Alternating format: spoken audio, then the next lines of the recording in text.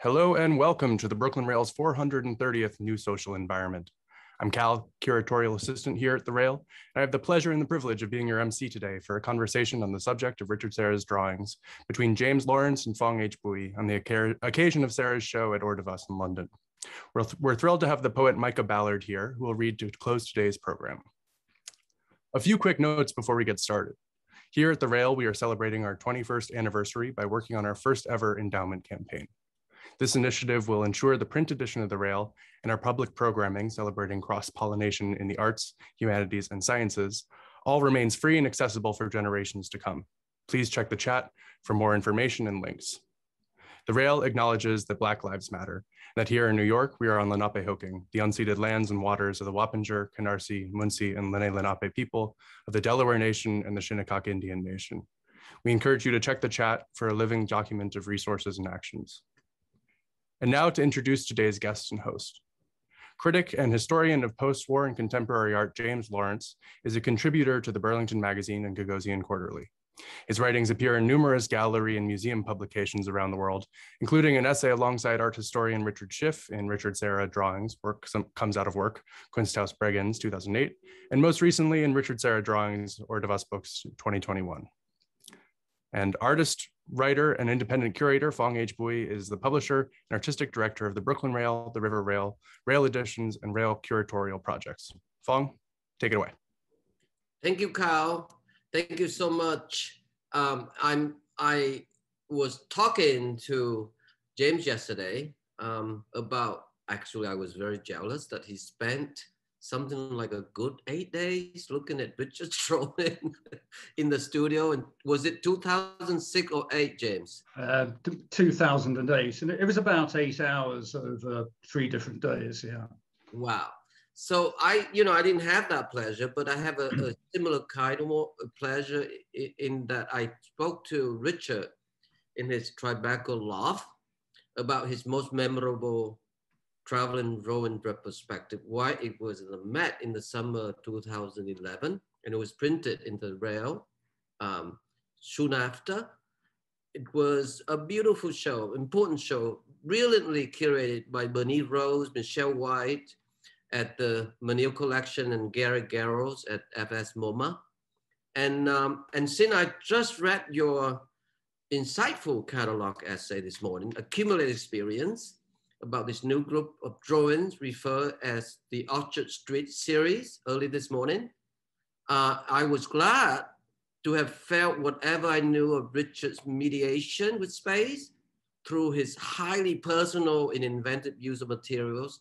It's essentially, I mean, I just need to be thrown out all of what I know. Look at this new body of work. Um, yeah, for I now to, to, need to rethink in a way, reframe everything, you know, because it demands everything else seems so inadequate. Uh, so I'm thrilled to, to have this opportunity, James, to talk with you about Richard um, intense inquiry and perpetual exploration of his own practice of drawing and how it directly or indirectly relate to his own sculpture or remaining an anonymous negotiating with spatial issue rather than depicting or uh, illustrating a situation or narrative and so on.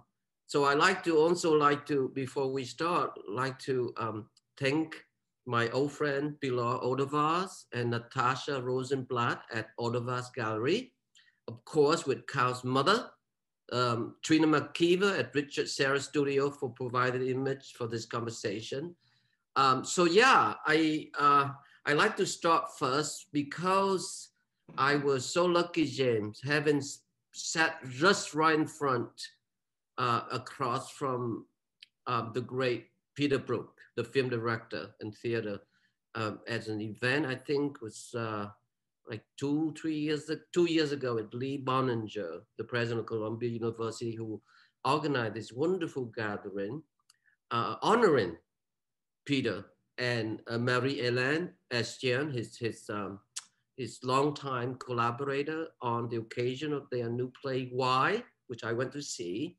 And I just wanted to um, read this part because it essentially relate to the sense of touch. So here Peter say, we are part of people and people are part of us. And we find ways to contribute and encourage the best or the better to survive the worst in the world of humanity. And that's what our work is about. So much can vibrate in one or two simple words. And for me, he said, the word is the most important in everything we do is touch. You can look it up in every dictionary, what the word touch means. When in direct experience, everyone in any race, in every part of the world, of any age would know when they experience a moment of, wow, ah, it's touch.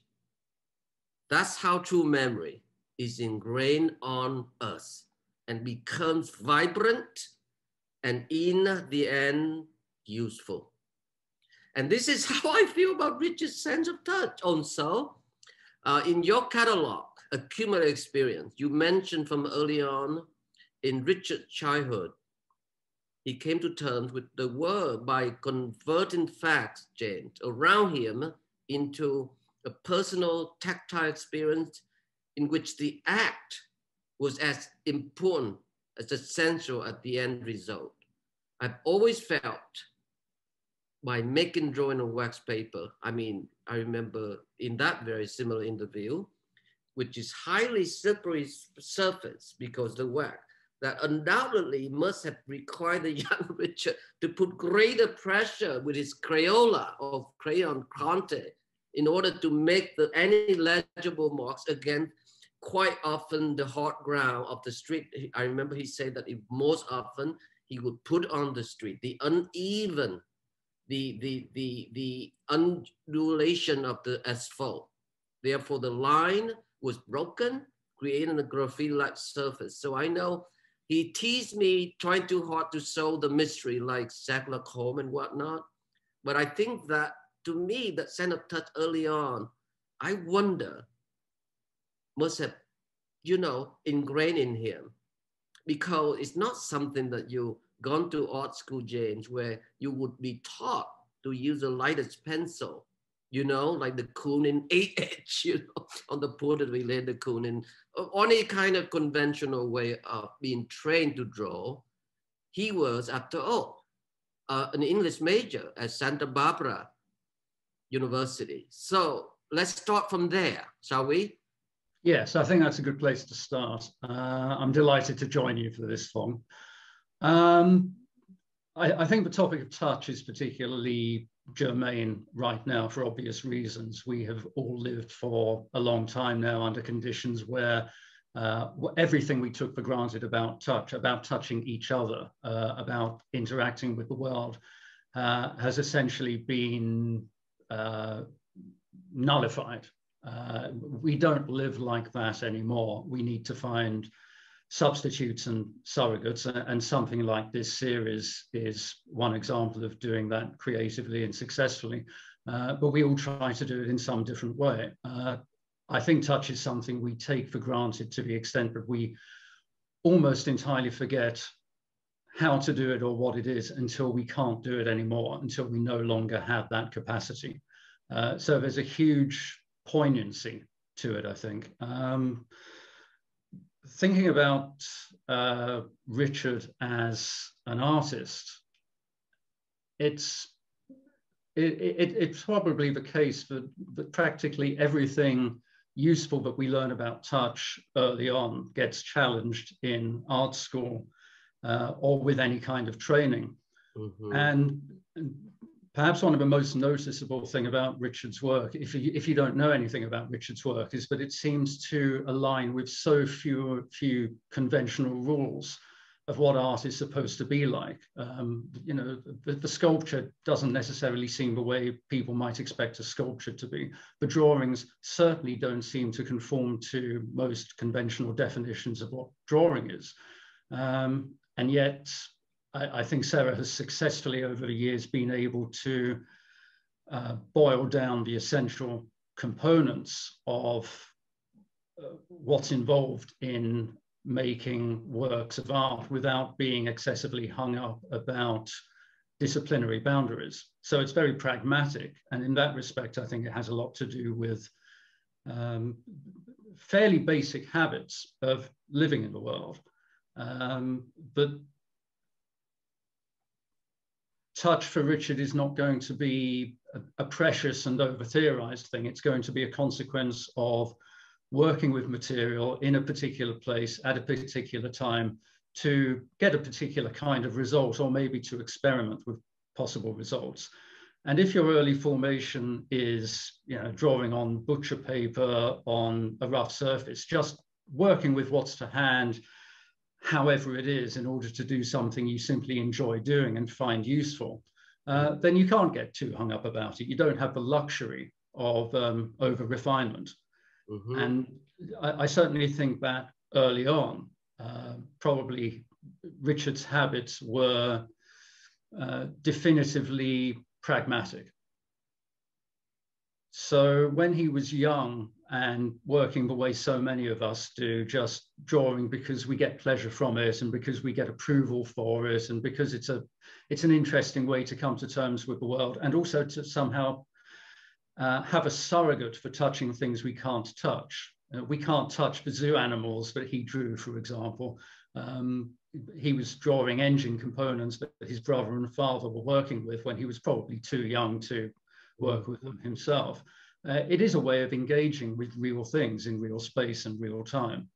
Uh, something we all do on a moment to moment basis and yet hardly ever think about until we have a reason to think about it because we can't do it anymore.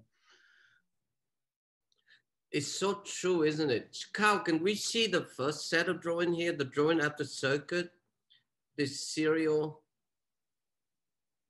I think there's uh, 24 pieces. This is what really knocked me over, James. It was yeah. in 72. You know, when I um, saw this, um, which is at the entrance when you enter the, the retrospective at the Met, I couldn't help but to think of early Delta blues masters. You know, you know, I'm serious, like Josh White or you know uh, Booker White or Robert Johnson and many others. You know, because these was Black American were given probably why they were slaves. You know, in cotton field and whatnot, they were given guitar. Um, by their master, by their owner, and they couldn't mediate with the European sound, the tuning, so to speak. So they began to experiment with the string, and they probably began experiment with find way to to now we call it the you know the the, the so-called tuning, you know, like uh, extra tuning. I'm sure they were trying to find way that resonate the sound where they came from, from their memory, you know that's when they began to open tune and then break the bottle and st- start doing the slide on the string. Mm-hmm. my feeling is that that physicality will immediately associate my own experience reading this multitude of line, vertical line. I mean, if you were an art student or an artist any kind, you wouldn't dare to leave them like that. Mm-hmm. You would think they crude, simple, you know, where are your training finesses? Where is the Ingres, the Delacroix, you know? Um, and all the master you look at forever. You mean I know that you have an image of Da Vinci, which I'm dying to, to, to hear what you have to say about it. But that was my impression immediately. I think it's an understandable impression. It's uh, again, we are constrained by our own habits of thought, and if you come to a work like this uh, if you look at this expecting it to conform to um, the graphic conventions we have been told over and over again that's what drawing is or even if we come to it with a uh, an understanding of what uh, seriality from the 1960s was somehow supposed to look like a rules-based approach to art mm-hmm. uh, something like this does not seem to conform to that. And you can simultaneously wonder why that is, uh, and yet also see it for what it is. Um, pretty much the way you can listening to uh, a very simple line in Delta Blues. It's uh, it's a very personal thing in the end, even if it seems to follow a basic structure that one has heard from many other blues tracks because there is a particular way of doing things. Uh, but everyone has a different touch. Every guitarist has a different touch. Uh, every singer has a different timbre. And so there's huge variation.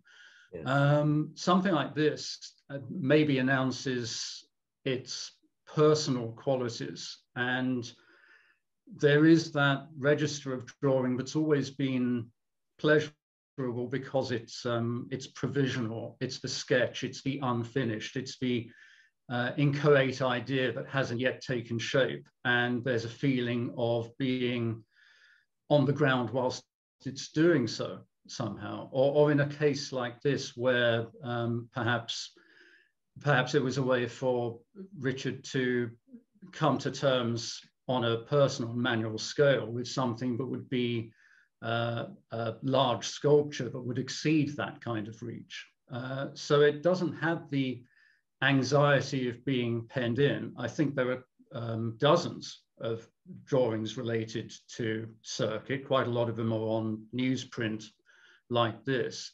Uh, and so it's it's fertile. It doesn't seem self-contained. I mean, this is a very yeah. tidy and handsome installation, and it has that ring of um, institutional compartmentalization.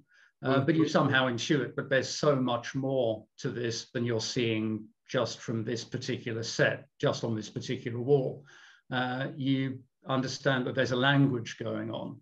Yeah. And drawing is particularly good at getting that across, I think, uh, that it's the engine of artistic thought.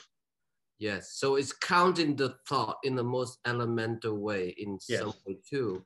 Uh, but I'm not so sure about the uh, the absence of anxiety, James. Maybe maybe we if we look at the next image, cow, the the second Goethe. This is like the, one of the early great um, in you know situated or situational drawing or site-specific drawing. Um, this is at um, Akira Ikeda Gallery in Tokyo, 1985. I know that we have a second view here, Cal, so we can see the fuller um, perspective of these two pieces here. And then I thought for the sake of amplify the physicality, I asked Cal to put in um, one of my favorite painting at the Museum d'Orsay by uh, Gustave Caillebotte. It's called the Floor Scraper. So I remember being in Paris in 1998, and that's how I remember the image of how Richard create those drawings were like James. It's a it's a, it's the assertiveness of what required a physical labor, like workman-like labor. Yes. Which is so essential way to understand his drawing, the, the verb of his act making the drawing, so to speak.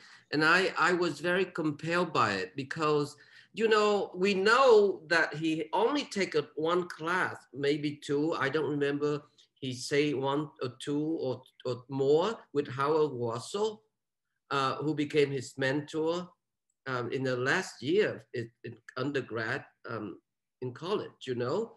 And then it was Warshaw who encouraged Richard to send a portfolio of 12 drawings to Yale Graduate School, which Richard was admitted. And it's interesting to me to mention that he was a painter in graduate school. Yeah. I was told by Chuck Close, who else, Rackstraw Downs, that Richard was making painting somewhere between Pollock and Hans Hofmann, while mm-hmm. Chuck was making painting between de Kooning and Rauschenberg, and Rackstraw was out hell all, all the way. Anyway, there's more others people who told me, but we know on a traveling grant in 64, right after he graduated, he spent a year in Paris, where he saw Brancusi studio at the Musée d'Art de Moderne. um, he certainly absorbed the aura of Brancusi studio. The same can be said about Giacometti, who he and Philip Glass would follow, you know, like groupie really, seeing him sitting there with in the, you know, the famous uh, cafe La Coupe, you know, with pen stuck in his hand and plaster in his hair and wax stuck in his ear and whatnot. He's carried the aura studio. I know Richard was super impressed by that. You know, the idea of carrying your work in your work with you everywhere you go. But when he went to the Fulbright um, to Italy the year after, he just quit being a painter altogether. Just quit. You know, realize we don't need to go through the detailed, you know, experience Velasquez, you know, La Meninas and whatnot. But he just quit and began to be playful. Of mm-hmm. course, the very important show for Richard was when he experimented with stuff in live animal, uh, including chicken, rabbit, and live pig, and other. I know that it was. Um, I spoke to George Woodman and Betty Woodman because Betty helped Richard to get the animal because he spoke Italian, hmm. Italian. You know, that was his first show in Rome at the Gallery de uh, La, La Cicita, La Lita, you know, just before uh, Arte Povera took off, so to speak.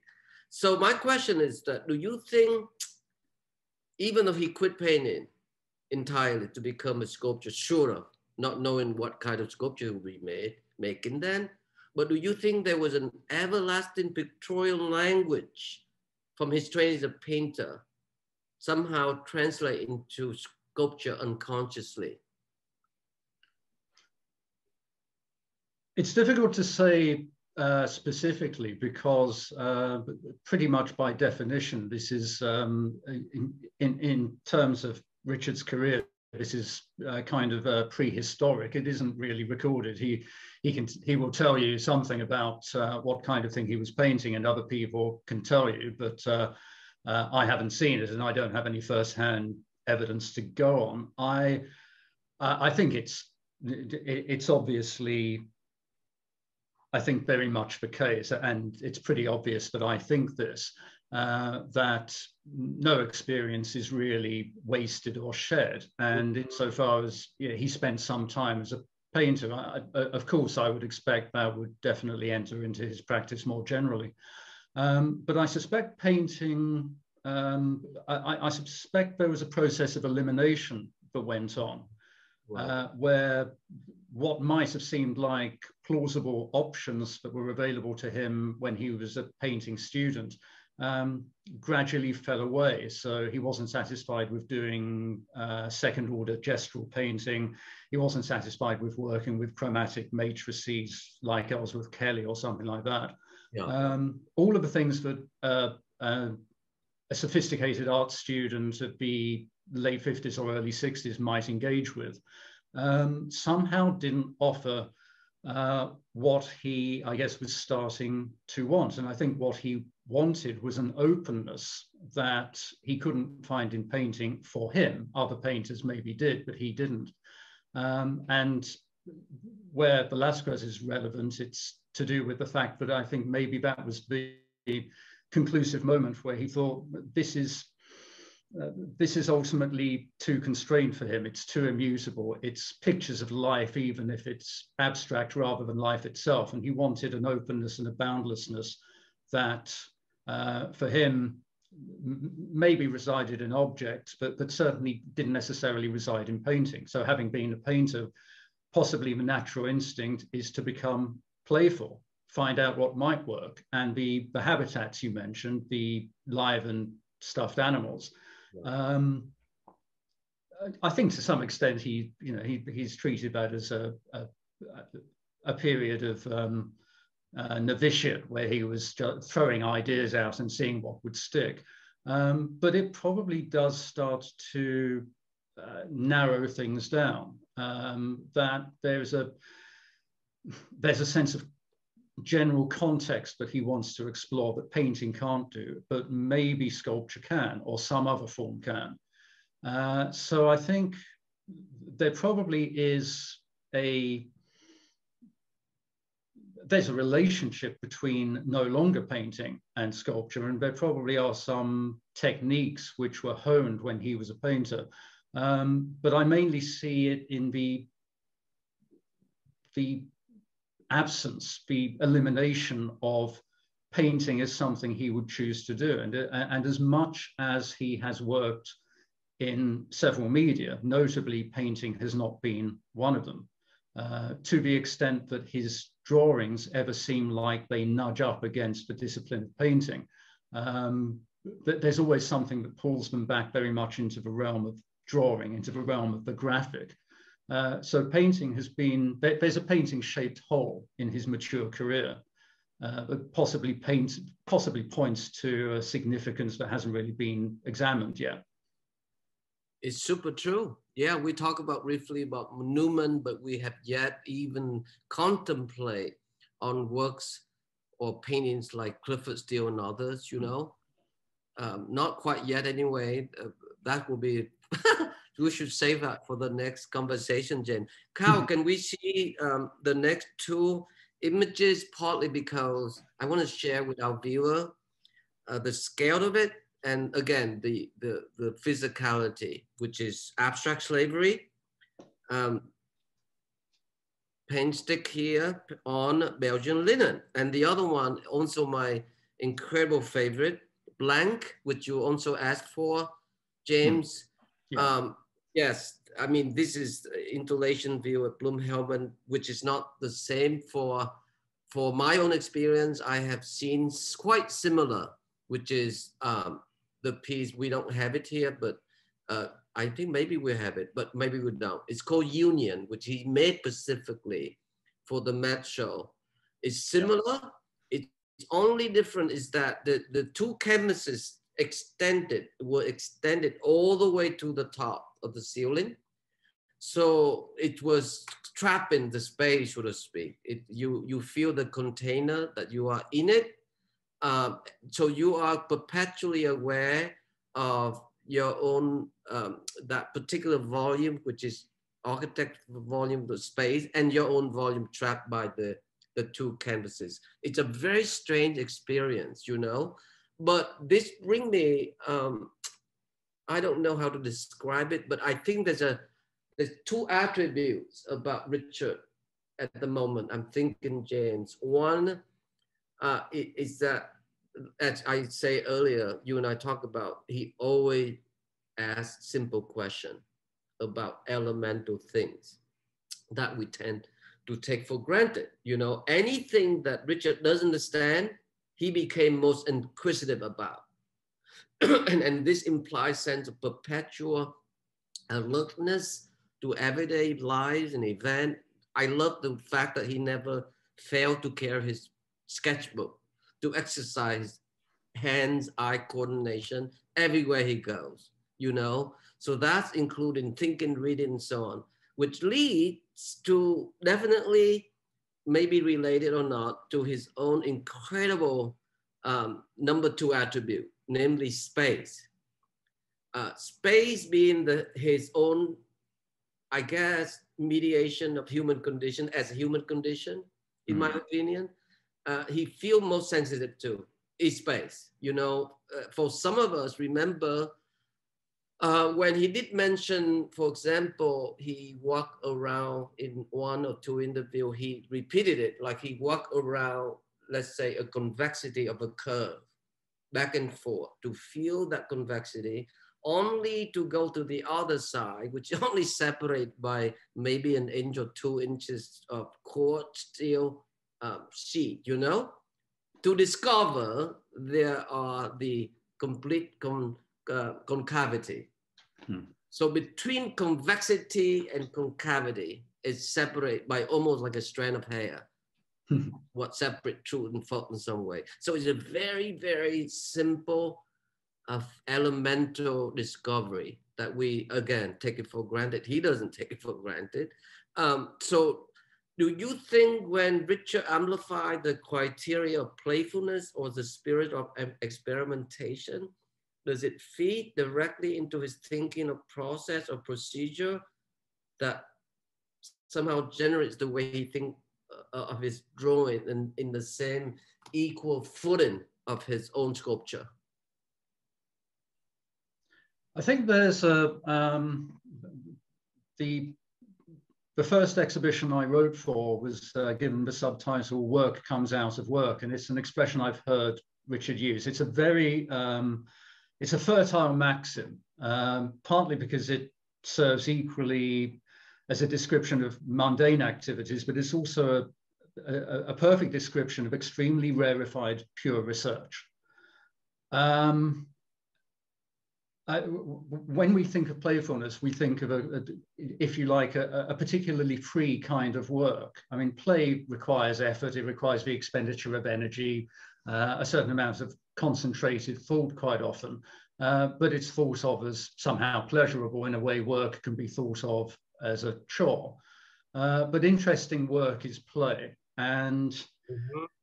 th there is a general looseness uh, that I think attends Richard's work generally. And there's an anti-authoritarian aspect to that. I mean, it's easy to look at some of these large-scale drawings and um, and, and misread them as somehow um, coercive, that they are conditioning space and therefore forcing you to behave in a certain kind of way.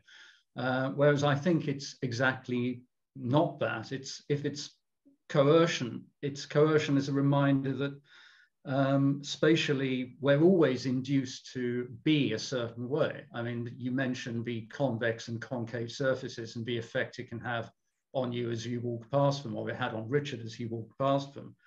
Um, well, you know, in a way, freedom comes from acknowledging that we are under those conditions, and yet we act to the extent we can according to our own choices moment to moment. Now, I think that's relevant in relation to this kind of sight conditioning drawing uh, because the viewer becomes somehow crucial. Uh, this work in particular, uh, Blank or, or Union for that matter at the Met Show, uh, they only succeed by virtue of standing between those walls and being able to alternate, being able to reconcile the opposites. Uh, so in that sense, it's extremely generous. It, it's an invitation uh, to, it's an invitation for us to play in a certain sense. We don't have to do a certain thing, but we do have to work. We do have to do something in relation to it for it to be rewarding. Uh, mm-hmm. And I mm-hmm. think that's an, that's an ethos that recurs with Serra's work, uh, where actually it's it, it's giving us a lot of latitude to be who we are. Yeah, you know, it is. It also it's a it's a two sides of the same coin. James, I've been rereading quite a bit of, you know, uh, John Dewey. Mm-hmm. You know, where he described the experience of children when they play, when they experiment. They, they don't make discrimination against what are they making. Uh, let's say uh, an airplane, paper airplane, you yeah. know, or making a drawing or painting. They do not separate between uh, making an image or building an image with the academic training potentially or vocational learning. They and above all when children get excited about things they don't censor their excitement. Mm. you know it's so important to remind ourselves i know it's kind of hard and difficult to put richard in that context but i remember years ago reading about baudelaire. I don't know the word genius that is now for being like it's now forbidden. Mm-hmm. but Baudelaire did say that genius is no more than childhood recapture at will. And that's what we do as adults. We try to go back that, recapture that sense innocent, but really to be free, to be free to maybe, maybe not to be free from, you know, mm-hmm. which is what, you know, the, the four essay of liberty of Isaiah Berlin is all about two concept of liberty, I must say. But you know, still, I, I was thinking about Delineator because you asked for it. Can we see the next one, Carl? I mean, yeah. to me, that's playful. It's it not intimidating. I know that I did stand quite a few times below it and definitely felt the fear. you know, it's gonna be smoothed into a French crepe, not American uh, house of pancake for sure. But it was so incredible and just standing below. But when you step afar, you feel the space for sure. But I felt incredible joy because I know it was being playful. Am I right about this, James? Uh, I think so. I mean, it's um, it, it's a particularly satisfying one. This because it's uh, again, it gets back to this point you made uh, that so often um, Richard's dealing with the simple question uh, and the question, but we don't think about, and therefore we get thrown off because we don't think about it. I mean, as you say, you felt that fear standing under that plate. Uh, but I'm going to make the assumption that you fairly routinely stand in rooms with ceilings and floors above them and don't give it a moment's thought. Uh, you're probably more likely to have something drop on your head from you know, a, a, piece of domestic architecture than you are from a very carefully installed work in a museum that really does not want to get sued. I mean, this is a very safe work of art, but it seems like it's not that. And, um, and so much of play is to do with risk, uh, but yeah. it's to do with the, the promise of risk without the actuality of risk, Think, doing things that seem like they might be dangerous but aren't.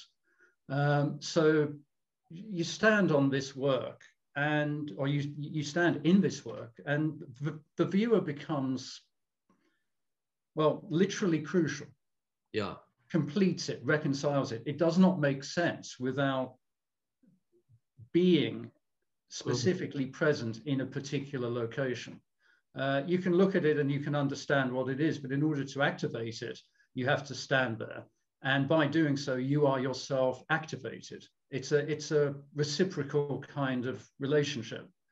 And that's lively. And and it is the satisfaction of uh, a simple thing extraordinarily well done rather than um, very precious rarefied um, elite aesthetics being put into play.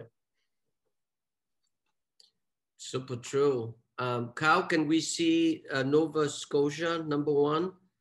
The drawing, uh, which is rare, you know, James. This was made in 83.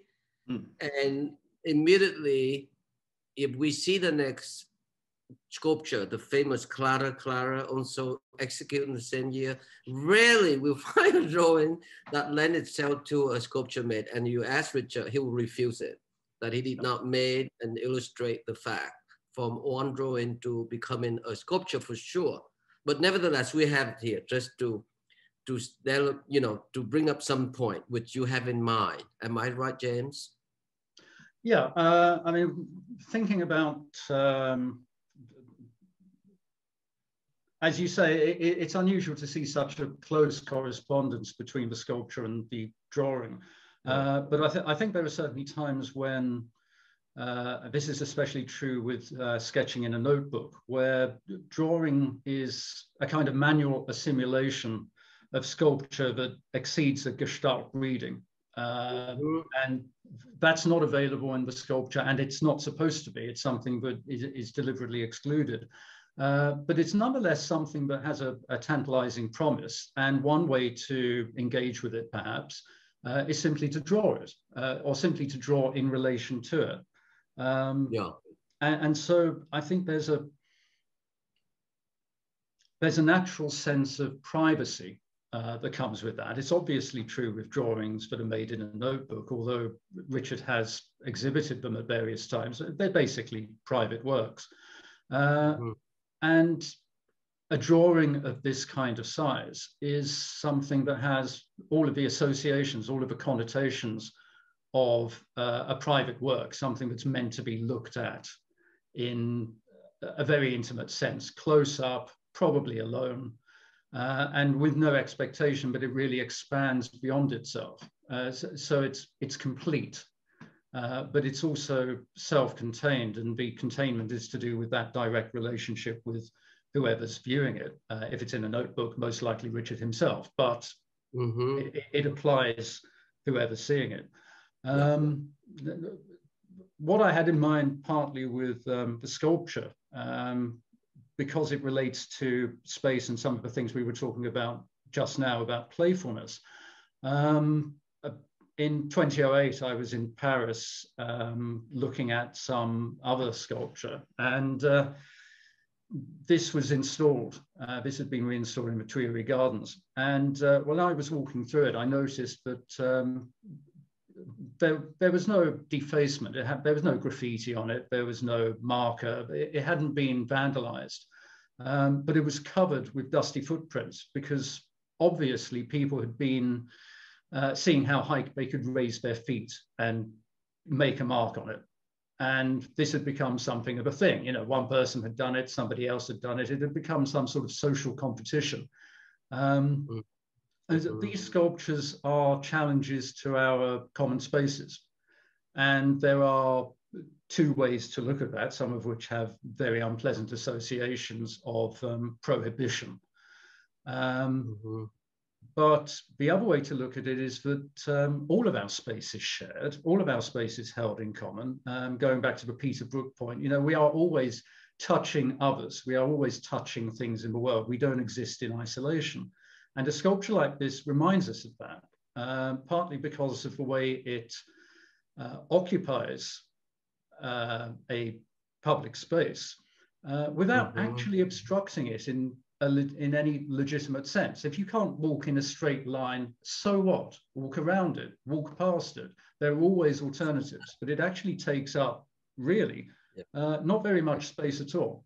If you look at the sum total of um, ground area the metal covers. It's not very much. Well, I mean, that's exactly the argument that he sued the US government for when Tilted Arc was taken away from him. You yes. know, that's another been talked about, so there's no need for to revisit the same old story, James. But I, I, um, I'm, I'm interested right now partly because of you also wanted to show um, To Lift, mm-hmm. which is yes. Carl. Could you show it just briefly?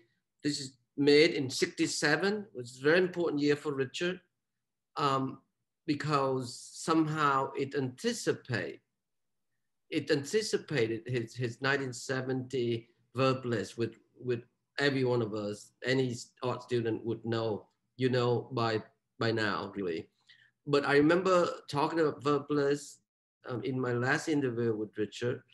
Um, I did bring up, or I asked whether there were any possible inherent relationship to now that we see the Jasper Johns show. I just went down to Philadelphia to see it for the second show there. Now that that we we we we we feel the presence of Jasper terrifically. So I asked whether it had relationship with Jasper's untitled drawing of 1964, uh, cut, tear, scrape, erase, in which he responded, his verb list had nothing to do with Jasper, although he admired Jasper's work. It's rather inspired after having sat through a six-hour lecture by Buckminster Fuller at uh, Fairleigh Dickinson University. Would you believe it? And the lecture was called I Am a Verb.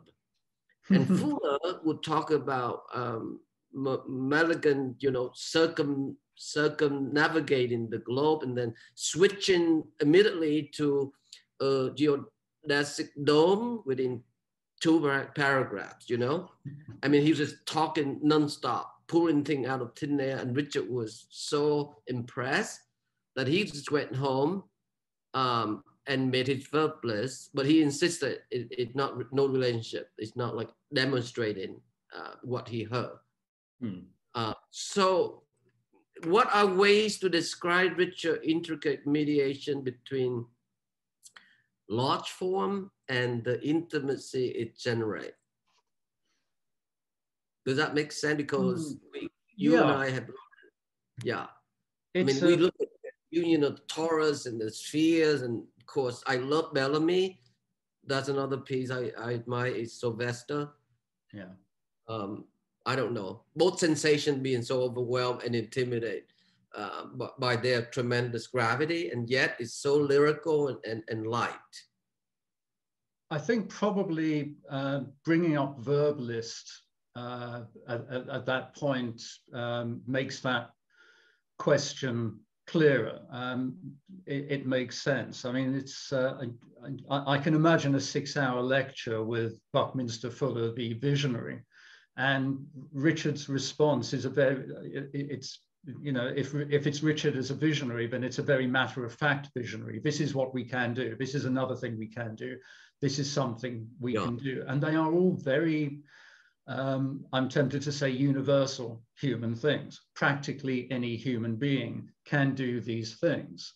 Uh, and, and, so there is a, without any fuss, uh, without any theory or theology or ideology about it, um, the, there's just something about the sum total of human capacity that's set out with something like that. And it doesn't list everything, but the very fact that it is one sheet of paper tells you but there are plenty of other sheets of paper. This is just what he's been able to come up with right now. Uh, and yes, of course, art students learn it, art historians learn about it, and it's tempting to see it as some kind of um, um, some kind of conceptual thing, which it isn't. It, it's nothing of the kind because Richard went on to do these things. And yeah. so he, in this case, took a sheet of rubber, um, it's a very rudimentary kind of thing. Uh, lift it up, it produces a volumetric form. It's a rather beautiful volumetric form. You go into a museum and see this, and it's just, it just works. Uh, you can't exactly say why it works. Uh, it's got something to do with wit. It's got something to do with the economy of a, a perfect one-liner. It's got something yeah. to do with, the, the, again, the things that we take for granted as giving us satisfaction and then we get on with our day. Um, but the physical forces that are being harnessed uh, are complex. Um, describing what's going on in an artistic and formal sense is quite complex, uh, but it's also unnecessary. Uh, you'll see it so much quicker than you can describe it. Uh, you don't really have to get into what's going on with it. Um, so it's it attends to physical laws rather than aesthetic rules. It doesn't have that kind of code built into it. Uh, now, I think that with the reason why maybe even a, a monumental sculpture can nonetheless seem intimate is, is partly to do with the fact that it does call upon our physical involvement. It calls upon us to pass through it, walk around it. It calls upon us to be in relation to it. Um, but it also becomes very quickly apparent that it's engaging things that we do on a daily basis, just not in that way and not with those means at our disposal. Uh, so it, it, it, speaks a language of, of physical behavior that we all intuitively understand because we simply wouldn't be able to function in the world if we didn't. And that's quite an intimate thing. That's a very personal thing. It's universalizing, uh, but it's also deeply particular. Yes, it deeply particular is a good way to describe it, uh, about Richard, because the, the the early film, the structural film is definitely related to that singularity of act, of one act, one verb each time. Um, but if we were to talk like this, James, we will go on for hours. I know that we are doing this for the archive the rail, but I think speed it up so the Q and A can happen some point. Absolutely. Cal, uh, let's get back to the drawing, shall we? Let's let's show the the remember me whisper the dust. Can you describe how this was made? Because what we're going to see after is so different. Well, it's starting in the 1990s. Uh, Richard's approach to making uh, drawings that you know, up to about an arm span, up to about six or seven feet. Uh, he started to uh, put a reservoir of paint stick on a horizontal surface, uh, sometimes constrained by uh, a cardboard form at the perimeter, but not always, sometimes using wire mesh to hold it roughly in place, but not always. Uh, then he'd apply a layer of paper, uh, heavy duty paper, uh, and work on it from the verso, uh, press it down into the paint stick. And so here you have, and you can kind of see it in an image, you have a you, you have lines and then more lines and then more lines as he swept onto it from the back with a tool. Uh, and eventually the material accumulates and in so doing it, it almost effaces the linear gestures that led to its creation. Uh, the end result is um, hefty, it weighs a lot. Uh, the surface is extremely variegated. Uh, it, it, you can get quite lost in looking at it because it is astonishingly complex. Uh, but what it doesn't do is you know, record a, some kind of autographic gesture that makes a big deal of it being Richard Serra's gesture. He's working from the back. He doesn't know what it's going to look like until he lifts it up. Um, if we end up seeing it, it obviously passed muster. Um, but it's somehow detached from him. He's just, um, uh, he's the foreman, as it were, of the material. Uh, he's the reason it is doing what it's doing, but the material is ultimately um, almost making decisions for itself just from the natural logic of its own physical qualities and what happens with the physical forces that Richard applies uh, and then that result from the paper being lifted off. Yeah. Uh, and that's something that holds on through the drawings that followed and still remains true. Right, right. Um, it, it, can we just see the next one, Carl, just for context, and we'll we'll we'll mention this a little bit because this morning early I I did manage to see there was a panel discussion at Pilar's um, gallery on the spot, and um, there were one question brought up in reference to John Cage or Zen in general, you know, and I know that Richard had trouble with Joan Jonas uh, to Japan, which is a very important trip for both of them. You know, we know the effect, the profile effect in their work. But it just occurred to me, you know, J James, that the word Zen, you know, Zen is a Japanese pronunciation of the Chinese word name chant that say chant. Chant means in the Sanskrit mean thought, absorption, or meditating. Really, the word chant. But you can imagine in in China, uh, if Buddhism or the word chant itself, if you go to the mountain, there's plenty of places in nature to contemplate. You know, but in Japan, if you go to the mountain, you see tons of people already there picnicking. you can it's a tiny little island. So the word Zen is contemplate. Contemplate from what to what? so the, the, the, meditation in, in the Zen term, in Japanese term, is internal.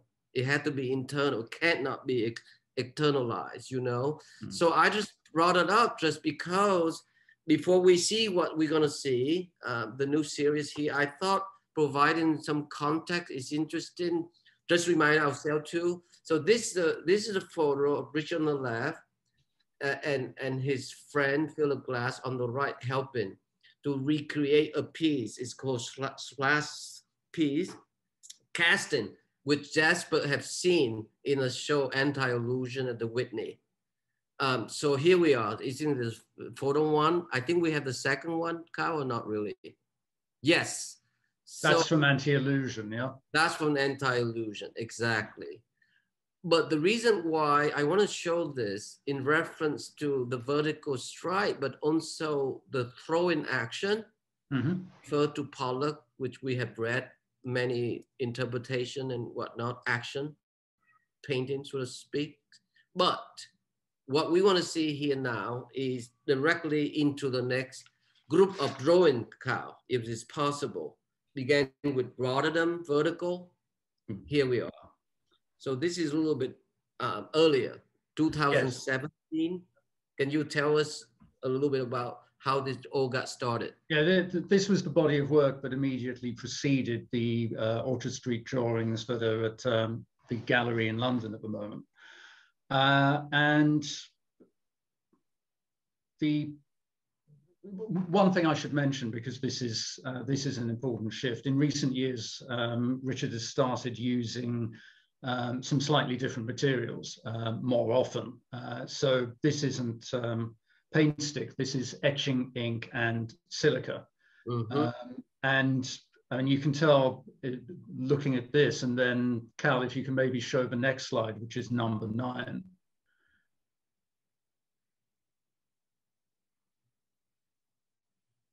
Um, no, yeah, that's it, number nine. Yeah, I mean, it, it, can produce very dense, rich blacks because etching ink is um, so dense. Uh, and I think the I think the silica um, does have some kind of effect on the reflectivity as well. So the way it captures the light is uh, somewhat different from the paint stick. So there's a um, e even now with what sometimes seems to be um, limited means, um, a limited palette if you don't see black as a color, um, then it's it, it's still possible for Richard to find uh, considerable latitude in the effects that he manages to get onto paper in a given series, uh, just because of the material he uses and the kind of marks and the amount of pressure he exerts. Um, so the, the subtlety that's apparent within a given drawing is also uh, a trait across a series. And I mean, if we see some, uh, I, I, know we don't have a lot of time, if we see some images from the installation at Ordovas. Um, yeah, we can, why don't we go straight forward? And yes, here they are. Yeah.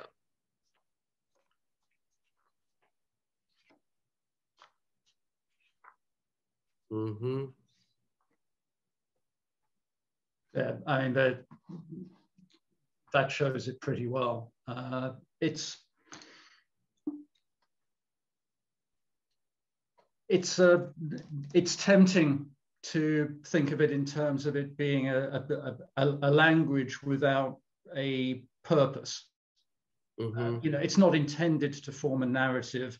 The marks don't really articulate something. They don't model anything. They're, they're, the strokes aren't really contingent upon each other.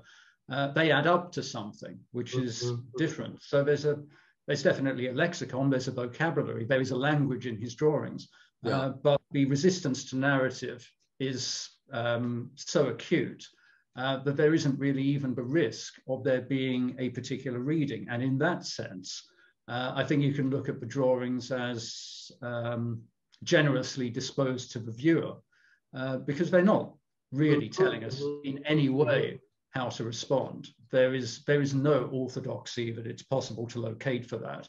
Although certain habits will make us see certain things in certain way. We think of a, a line that has weight as having gravitas and having maybe a dourness that a lighter line doesn't have. But those are just basically conventional habits from a history of drawing, uh, which Richard's approach to drawing uh, dismantles and doesn't exactly reconfigure. Yeah, I, I, I, the reason, I mean, how, how can we uh, account, for example, that um, the, the accumulation, which you also mentioned in, in your essay, that create this density and then it fluctuate to the very incredible thin sinuous line barely barely exists on its own or you know barely exists to the next next line yeah. i mean there's just extreme fragility there as opposed to present and density you know yeah. um, and i know that um, you know thinking back from my first interview with richard where he recall the experience of having seen Giacometti. Is it 19, it, may have been third, early 30 when he was part of Surrealist. Uh, woman with her throat cut, James. You know, yeah. identifying it, being the sculpture ever been sort of installed on the floor. That, that had an impression on him, but still that the admiration for Giacometti has to do with, with a sense of tremendous existentialist anxiety. And I don't think he ever got rid of it. You know, I don't think Giacometti did. And I think Richard is still, whole, I mean, struggling with it too, day to day. And you feel that in the drawing, this group of drawing, even more to me now. Um, I'm not so sure how you feel about it, but it's, uh, is it adequate to say that at the age of Richard is now probably 83, is, is it feel does it feel adequate to to consider that Richard is now enter in his conversational example uh, with Hal Foster the late style you know? Where where you you you tend to make things simple uh, reduce it to some other form of simplicity uh, but either you tend to lean toward the criteria of pleasure beauty. I mean, you see that in, in late Matisse, you know, with the cutout and beautiful flat color and whatnot, rhythm and, you know, finesses of the cut paper and edges. But I really feel sometimes the opposite. Um, his younger contemporary, Picasso, late Picasso is very anxious, um, including the, the late portrait that he painted himself like a skull, barely rest on his shoulder, almost like a, a rock about to roll off from a lens uh, or a clip or something, you know? So I, I think this hmm. group of drawing seems to reveal both sense of it, some kind of reluctant to commit or acknowledge one way or the other from the internal sensibility.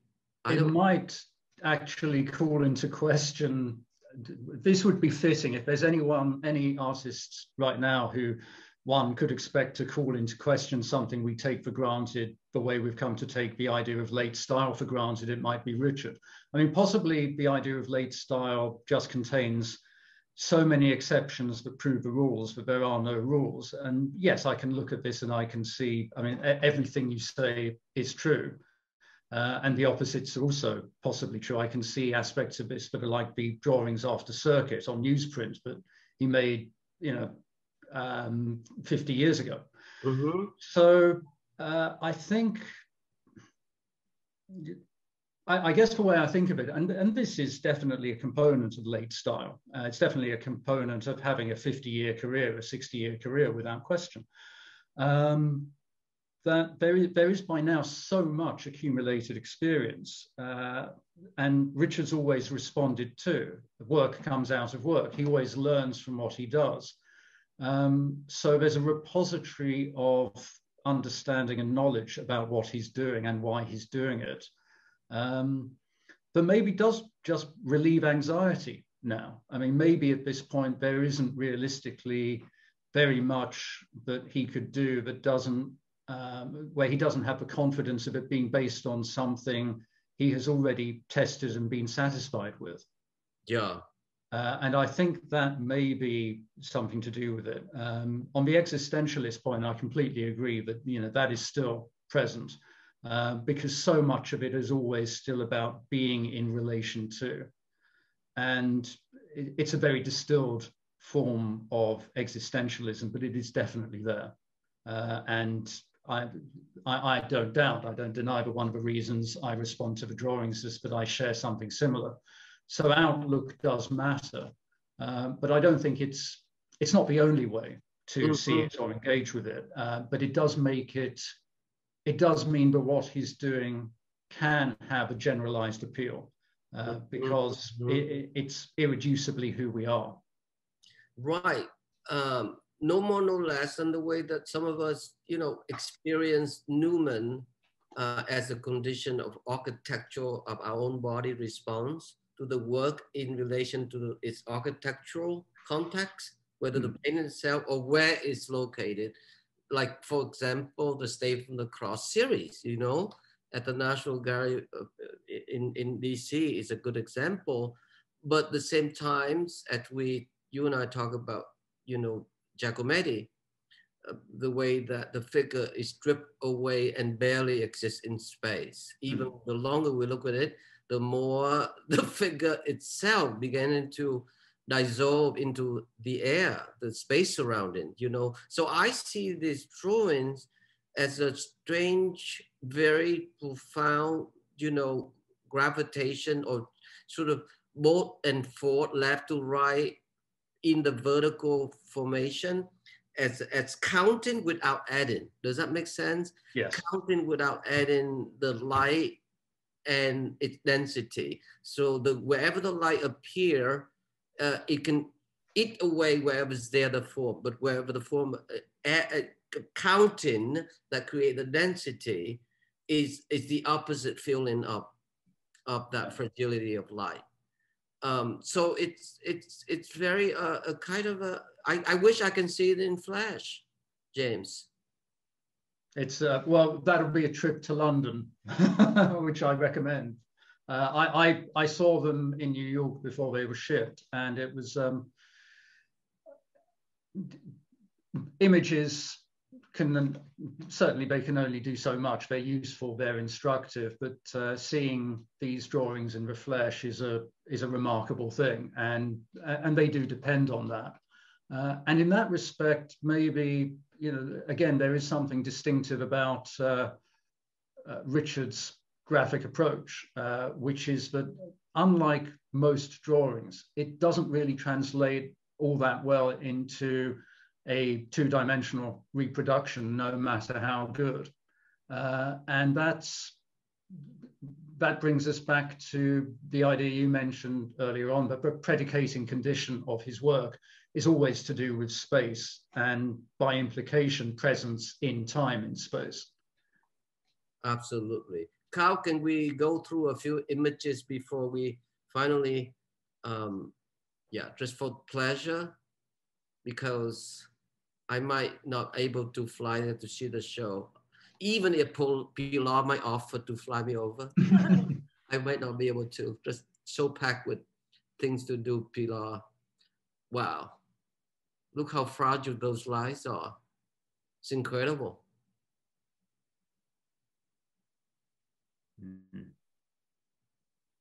How can you make industrial form that feels like natural form without the representational of it resemblance, you know?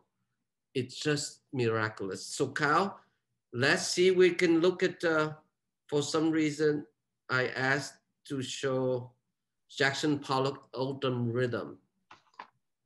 Yeah, for the pleasure of it. So this is just because I'm, I was at the Met not long ago, looking at this painting for a long time. I was so frustrated for not having the time uh, to drive over to see the Albert Pinkham Ryder show at the Whaling Museum in New Bedford, Massachusetts, where he was born. And we know in Melville, Moby Dick, uh, from the first chapter, remember the description when Ahab walked up uh, on flight in, in Spouter Inn, there was a description of painting, um, moody, dark, airy, vast, but however, the painting was small. Its, its description is identical to the painting of Albert Pinkham Ryder, which we will see here. Pollock, Autumn Rhythm, is eight feet, nine inches by 17 feet, three inches. Now let's see Ryder's Moonlight Marine cow. That's painted in 1870 to 90. Um, it's only 12 and a half inches by 12 inches square, tiny. And when Pollock only interview, radio interview, will asked of all the American master, who's your most admired painter? And you say Albert Pinkham Ryder. So I want to put it here. Um, why? Because I thought of two things. One is the unconventional used material for Ryder. I know that some people don't believe it because they, they disagree uh, on what material is used, but definitely unconventional um, with whether wax and everything else, some people say animal fat or candle grease, but whatever it is, it's certainly very advanced, James. He treated sky and the sea with same physical touch. You know, I mean, he was painting the same time Cezanne. Uh, but here, the broadness of it all. I mean, this tiny little painting, to me, the longer you look, the vastness of space it becomes, and you feel it. Where I could argue with Autumn Rhythm, painted rather late, 1950, I think, four years before Pollock's, you know, were killed in a car accident. To me, that's almost like re- requiring a lost, you know, lost scale in order to generate intimacy for Pollock. Yeah. It's, I know that um, he didn't read. He was read to him every Saturday, whether Lee Krasner did uh, or Richard Howard, the poet. And he loved the chapter the, to the tail end where Ahab know that he going to be swallowed by the, the whale. And that tiny glimpse of white light, that's what he really tried to his work. Um, so one is the opposite of the other, which bring up the matter of scale. You know, Richard's scale can be big, but it also can be so intimate. Wouldn't you agree? I, I would, and I'm looking at the Ryder, and I, I, mean, I wonder if the material in it could be whale oil because there is a whale in that painting. Yes. Uh, and you mentioned Ahab, uh, and it's when this came up. I mean, the, the thing that occurred to me is that there is a um, there is a particular American tradition of um, a, a, kind of maritime sublime um, mm. that has that um, Kantian quality of uh, being related to a sense of uh, the moral self in the face of possible annihilation. Um, I mean, even to the extent that um, you know the, the plaque on John Kennedy's desk with the uh, fisherman's prayer uh, that was given to him by Admiral Rickover, who was at the time who was in the architect basically of the American nuclear navy. Um, there is such a an impossible level of scale and magnitude um, woven into the history of this country um, that it's almost impossible to be a major American artist without it somehow coming up at some point. It's so uh, and yep. it's and it's a problematic one because uh, it's very easy for um, that kind that acknowledgement of vastness, that acknowledgement of magnitude and power to become unspeakably arrogant, which obviously at times we have been guilty of. Um, and I'm thinking of the extent to which Richard has, over the years, disavowed any kind of magisterial role with his work. I mean, he insists basically that, yes, he makes it happen, but it isn't all about him. Mm-hmm. It's not about autographic marks. It's not about the struggle of the artist. It's not about the great master. It's not about any of those things. I mean, this is so. This is what we want magnitude to be if it's to be generous instead of arrogant and authoritarian. Mm-hmm. It's interesting too because we know a lot of early American modernists. For example, Marsden Hartley, you know, went to live in Paris, worked there, to Germany only to come home to his home in Maine mm-hmm. and echo what Maurice Vlaminck once say that intelligence is international, national, uh, stu- stupidity is national and art is local. Mm-hmm.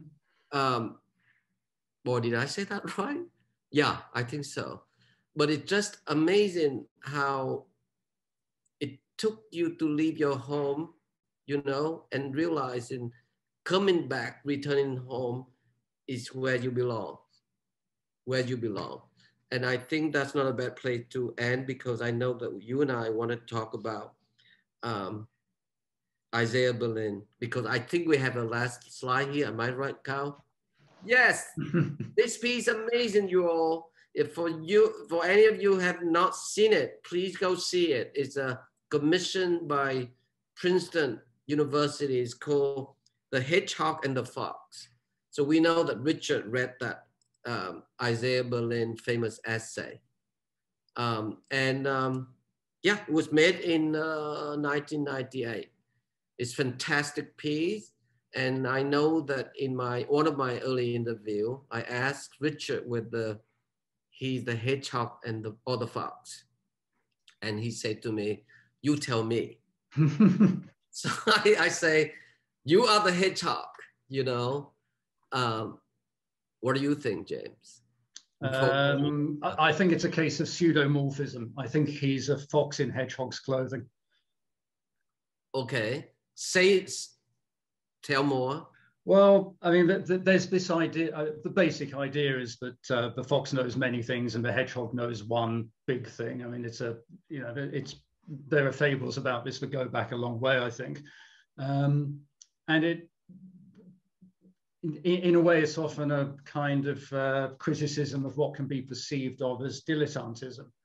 Um, but Richard, his his dedication and focus can make it seem like he's um, on a single pack and on a single track and avowedly sticking to it and um, making it work, bringing it into being. And I, I, think there's a certain amount of truth in that. Um, mm-hmm. One of the one of the strategies available to a fox has to be to be hedgehog-like, perhaps. Um, but if you think about his life and his career, he has been so many things at so many different times. Mm-hmm, mm-hmm. Um, and his sense of curiosity throughout has taken him in so many directions uh, that although it often comes back to uh, a certain a, a, set of artistic precepts, I yeah. think what's animating it um, is far more expansive than that. Um, so, in a certain sense, I mean, intellectually, he is willing to go all over the place. I mean, he's pretty intrepid. Uh, what he will, what he'll read, what he'll think about, what he'll look at, uh, what he'll say in relation to it, for that matter. Uh, but I, I, I, certainly agree that if you look at a number of his sculptures from a given 10 year period, it will seem that there is a, a uniformity to them. Uh, there is a consistency to them, um, but what's behind them takes uh, all kinds of roaming that is associated, I think, more with the fox and the hedgehog.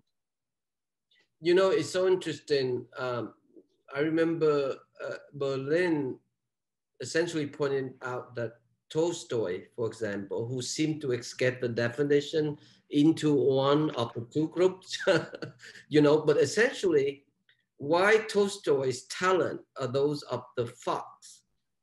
His beliefs are that one ought to be a hedgehog, you know, because Tolstoy's own, um, I would say, reassessment of his work, particularly early on, he condemned Dostoevsky for using vulgar language and always writing the same singular subject, which is human suffering and struggle and whatnot in the end, um, I think he came around to really profoundly move by uh, Dostoevsky.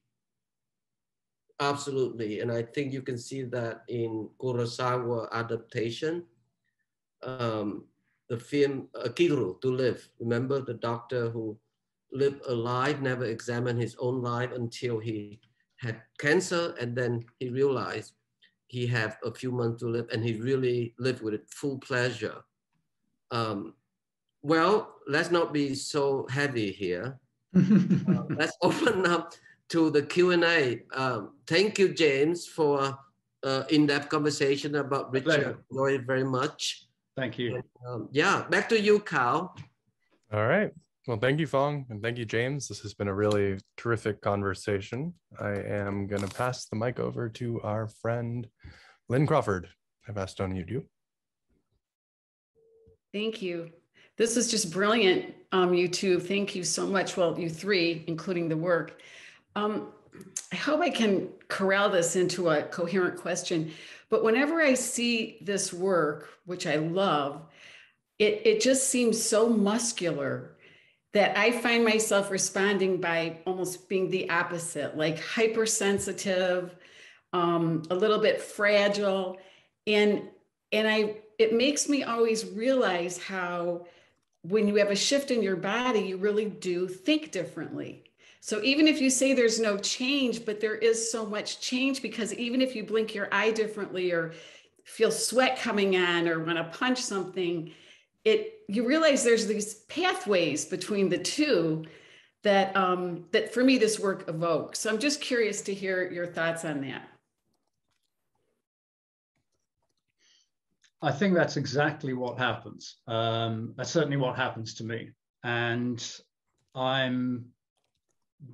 I, see it in relation to uh, what I think is a general tendency that's been emphasized in post-war art, um, where it's it, it, invokes an apperceptual response, but we become very self-aware of ourselves as perceiving entities. Uh, we become particularly conscious of um, uh, what we're doing and who we are as we do it. And so there's an emotional register to it that, uh, as you say, comes out of the physical qualities that induce you to be in a certain way uh, and to feel a certain way. I am sure there's variation. Again, it's a it's a highly subjective thing, um, but it, I, I, think that's definitely how it activates the viewer. Yeah. Thank you, Lynn. Uh, next, we're going to go over to a question from Brooklyn Rail comrade Nick. Nick, you can unmute yourself. Hi, well, thank you so much, James and Phong, for this wonderful conversation. Uh, my question is, uh, could you both perhaps talk about the role of negative space in these drawings? Uh, because there seems to be a great variety of density in the works in the show. So curious if you have any insights on that. Perhaps I'll send that, I'll ask James to take that first. Yeah, I'm, I'm really not sure um, what I think of the negative space. I'm not even sure that there is negative space uh, in a meaningful sense in those drawings because of the way they're made. I mean, the sheet, again, it's practicalities. The sheet of paper has to be there, um, but it isn't really a, a, blank thing to be read uh, once it's got marks on it. Um, you know, the ink isn't typographic or something like that. Um, nonetheless, again, by conventions, that we do see it in that kind of way, and it affects the impression we have. It affects the articulation that does exist in the work. It's the contrast that we need. Um, and so I think of it as being a, a maybe a corresponding space, um, as with um, uh, Donald Judd had this notion that space is made, uh, and that really that what seems to be a void, what seems to be negative space, um, isn't really negative or you know doesn't simply not exist. It is uh, simply uh, something that has to be there in order for other things to be there as well. And I think that's true with the uh, drawings in the show, for example. It's it's sometimes complicated by something, unfortunately, you can't see in reproduction, but there are a few drawings that have um, um, visible ridges where uh, Richard has put pressure on a steel on, a metal tool from behind. Uh, and so even the what's ostensibly the negative space of the paper is never truly negative. Uh, even though it, it, can protrude, it develops, I mean, it, it, develops its own texture, uh, which isn't really visible in reproduction. But when you see it, it's it's somehow full. It's just a different color. Uh, so, I mean, maybe that answers the question to an extent, but I, I'm I'm really not sure if there is negative space. Can I follow that, James? Yeah, yeah. Um, I I think that my own experience is particularly in painting. Let's take, for example, Morandi, Giorgio Morandi. Um, there was a beautiful show along with Albers at the Bitswana a few months ago um, and, you know, we take it for granted again, you know, when Morandi was asked, why do you paint bottles? In response, well, I don't paint bottles. I paint the space between them. And I think that's, you know, that's one way uh, to describe negative space, Nick. But when you look at Morandi's drawing, it's the opposite of that, actually. Uh, that the, the, the way that Morandi draw, it's quite similar to the way Richard draw. It, particularly his notational line, you know, uh, James. Hmm. Although mm. it's very not delicate and light and lyrical, it's decisively strong um, and certainly have physical presence as always do. But still, I think the idea of naked space is not just on that could be a way to describe uh, Richard, but I don't I don't think it's quite adequate because it's not really always by hand, you know. He used mm. all kind of material and printed. In this instant with the Orchard Street is really a transferring process that we've seen in either Paul Klee have done it, certainly with Knoller and other German expressionists have done it. You know, Gauguin was the first who done it so beautifully through his woodcut a similar process, but it really relate to the whole idea how space generate congruity, congruity is, you know, that, that sense of haptic mediation between your body more, it's not optical. So that's why it's hard to describe it, Nick. In other words, Immanuel Kant had that concept very clear where he described which is the, the word that James referred quite many times in his writing, apperception. You know, apperception was part of Kant's transcendental apperception, which is the condition where you experience things with this, yourself and your surrounding or the world coming together as one unity. So negative or positive, it's just too narrow to describe because it's it, it, it predicate on the action of the hand most of the time, you know? So it's, it's control chance operation, I would say. Somewhere between control chance operation in, in the Cagean sense, in the other sense is transcendental eh, apperception. That's how I would describe it. Okay, my best. well, I, I, just want to thank you both for those brilliant responses. So thank you. Thanks thank for you the question. question. All right, next we're going to go over to our friend uh, GE. I'm asking to unmute you. Hi, thank you so much, James and Phong, of course, for this. I um, the question sort of circles back to the beginning of the conversation a bit. You're talking about touch, perhaps. When Serra touches the surface to make these drawings, these impressions, these marks, is it to transform a leap of life into a kind of a gate, uh, absolutely expressing the sublime and the pedestrian?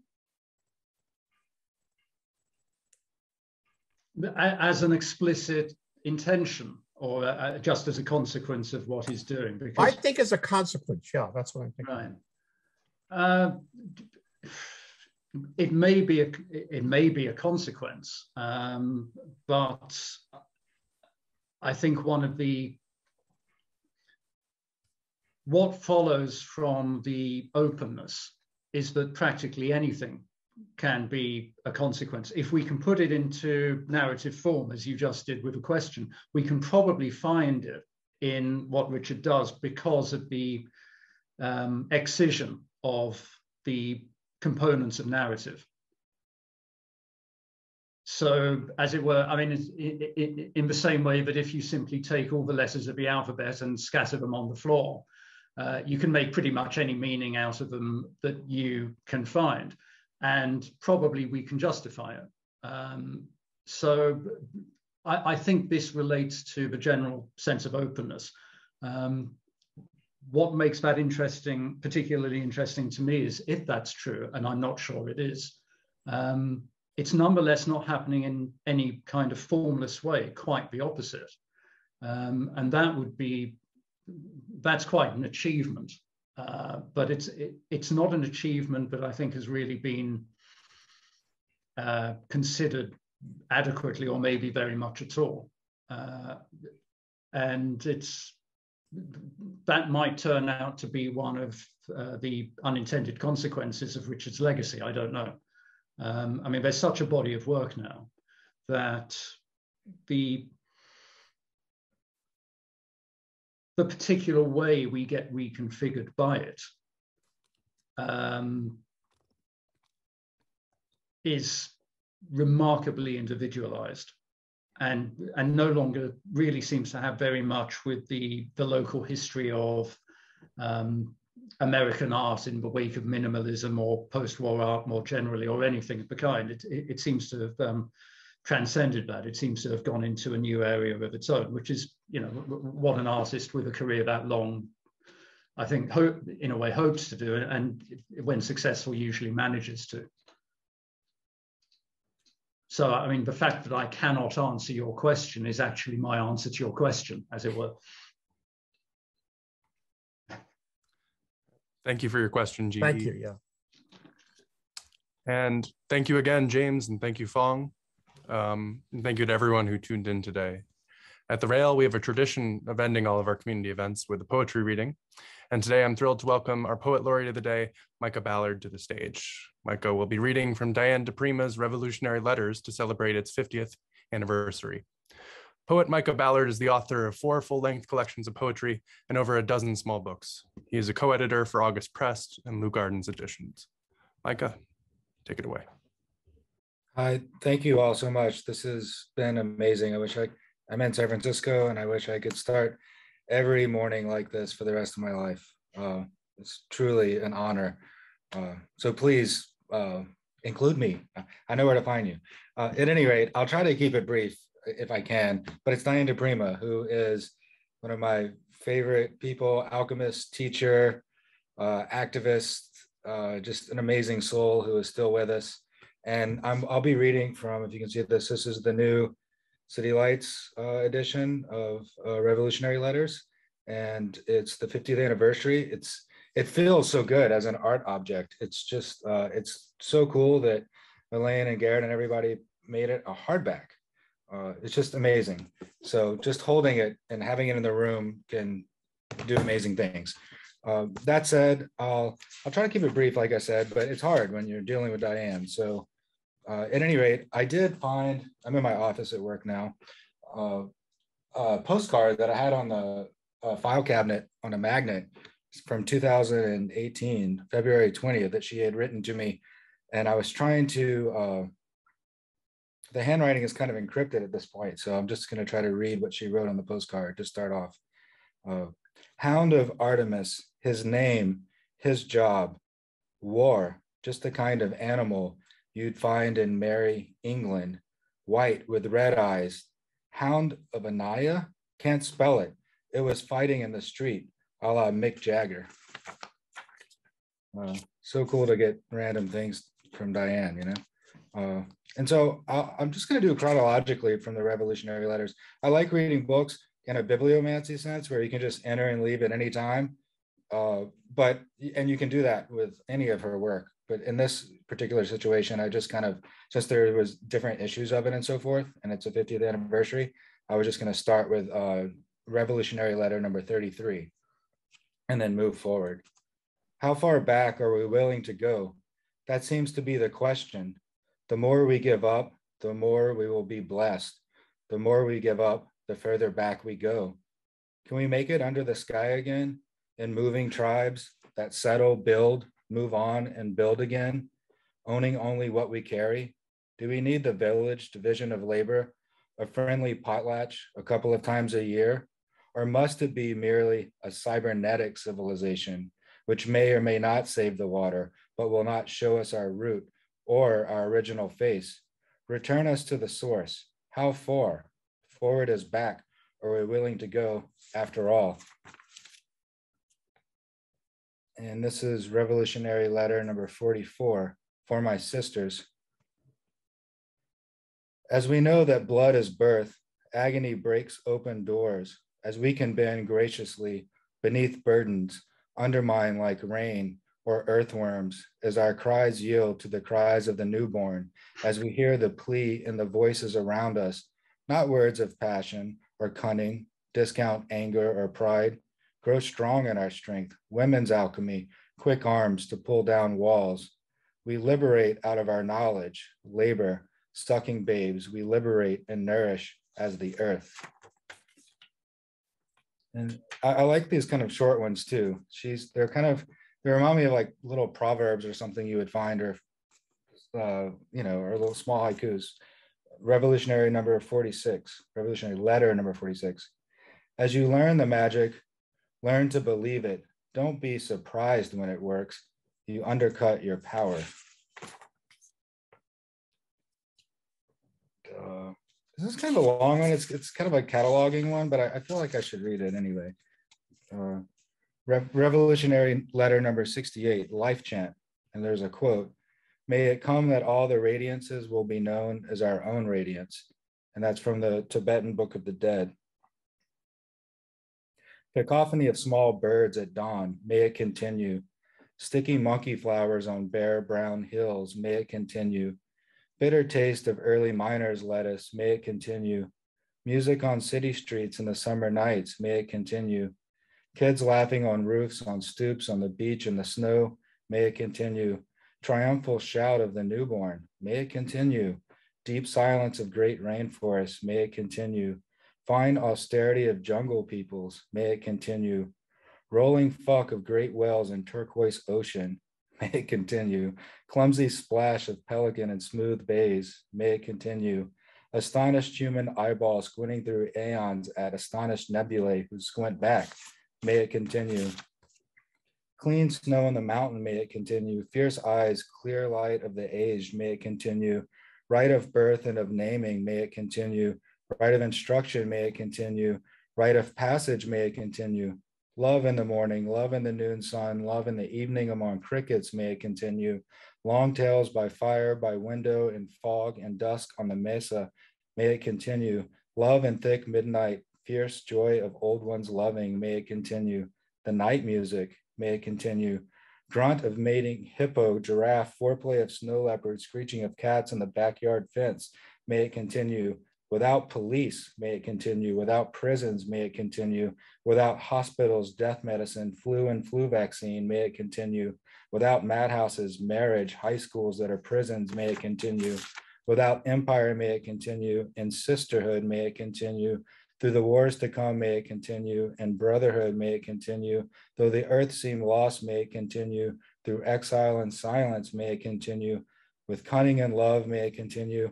As woman continues, may it continue. As breath continues, may it continue. As stars continue, may it continue. May the wind deal kindly with us. May the fire remember our names. May springs flow, rainfall again. May the land grow green. May it swallow our mistakes. We begin the work. May it continue. The great transmutation. May it continue. A new heaven and a new earth. May it continue. May it continue. Uh, I have a couple more. I feel like I should end there because it's such a great poem. Do you mind if I read a couple of more or are we out of time? By all means. Okay, cool. This one made me laugh because we all know this uh, as yeah, revolutionary letter number 101, why money makes me feel bad. If I feel bad, I feel bad if I get some. Why should I have it when other folks are poor? If I feel bad, I'm broke. I'm sure I'll end up being a burden to someone else, somewhere unable to pay half of the bills, the rent or the mortgage. I feel worthless and evil if I'm behind in my taxes. They're going to come for me in the night, break down my door, I feel scared and guilty if I get them done on time or not. I know there's a big mistake somewhere and they'll find it and I'll go to jail. Even though I told the truth, have a piece of paper to back up every number. I feel sure my tax accountant will despise me when he sees how little I make or how much I owe. He think he'll think I'm the lowest of the low. They'll always pay him as soon as I get the bill. How handle this? How feel okay? Do I have to stop giving money to Truthout and other left wing peacemongering animal saving orgs, giving so many gifts to the kids, the grandkids, the great grandkids? Turns out I lost the money last year. My partner's worried. I feel guilty because I lost money, and even more guilty because he said, Oh dear, when I told him, I want to crawl under the rug. We don't even have a rug. We're both allergic to them. I thought I'd be happy when all the taxes were finished before the deadline, but no, I'm not. I'm more miserable than ever, even though I owe nothing and nothing to show for it, unless you count this poem. I think that's about it. I have two small ones. Uh, Revolutionary Letter number 102. This is kind of prophetic. Uh, soon the only ones who'll know how to find us will be Google. and those small surveillance drones. And uh, here's the last one uh, that in a, in a sense of Diane, instead of reading from this book, of course, I had to make my own little Diane book through a photocopier so I didn't have to flip through everything. Uh, anyway, we just published this poem right before it came out, like in a one-shot magazine. Revolutionary Letter number 112. Queen showed us how to sing. We are the champions of the world. While the ground under your feet is burning, sing into the mic. Don't hide your burning hair. Look pride, proud, stride off when your microphone catches fire. Anyway, that is it. Thank you. Thank you, Micah. That was Yeah, terrific. sure. And some of the uh, never before published poems in the City Lights new volume of Diane di Prima can be found in our November issue. So go check that out. And a big thank you to James and to Phong. Uh, we'd like to encourage all of our friends in London to go see the Serra Drawing Show at Ordovas and our friends in Paris to see Serra's new sculpture and drawings at Gagosian. Uh, we encourage everyone to view our archive of these conversations on our YouTube channel, where we'll, where we'll upload today's conversation shortly. And join us tomorrow at 1 p.m. for a radical poetry reading organized by Cynthia Dewi Oka. You can now turn on your microphones and say goodbye as you leave. Thank you so much, Thank you, everyone. James. Thank you so James. much. Fun. Thanks, Such a James. beautiful Thank you, James. conversation. Thanks, Bye. Paul. Bye. Micah. Bye. Bye. Thank you. Thank you, Pilar. Thank you, Natasha. Thanks, Beautiful everyone reading. at Ordovas. Thank you, James.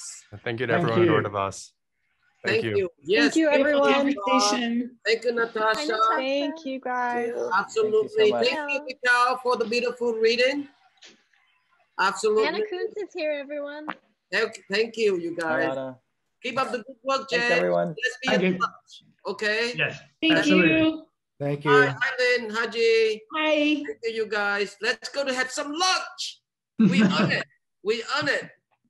Yes, indeed. Ciao. Bye-bye. Thank Bye. you. Bye. Much love and Take care. Thank you, James. Ciao. This was Thank you, great. Take care. Be safe.